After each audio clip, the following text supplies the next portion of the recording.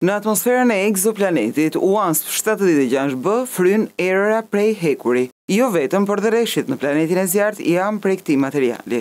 WASP shtatëdhjetë e gjashtë B gjendet rreth gjashtëqind e dyzet vite dritë larg Tokës, jashtë sistemit diellor dhe tregojnë të dhënat e mbledhura nga spektografi Espresso i montuar në Very Large Telescope i pozicionuar në Kili.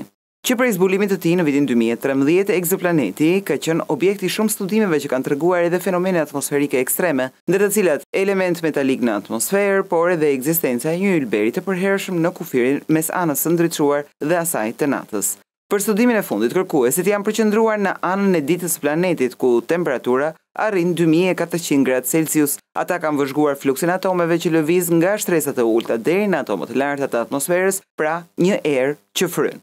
Kjo është hera e parë që vëzhgimet optike janë kaq të detajuara mbi këtë pjesë të ekzoplanetit që hedhin dritë edhe mbi strukturën e atmosferës së tij.